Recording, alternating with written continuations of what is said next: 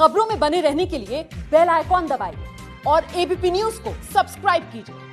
और अब देखिए, बड़ी खबर है। बिहार के हाजीपुर से सड़क हादसे में एक युवक की यहाँ पर मौत हो गई, जिसके बाद गुस्साई भीड़ ने नेशनल हाईवे नंबर 22 पर जमकर हंगामा किया।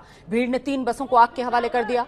आसपास के कई थानों की पुलिस मौके पर पहुँची और हंगामा करने वालों को काबू में करने की कोशिश की जा रही है। ये देखिए, मौके पर फायर ब्रिगेड की गाड़ी भी पहुँच गई है।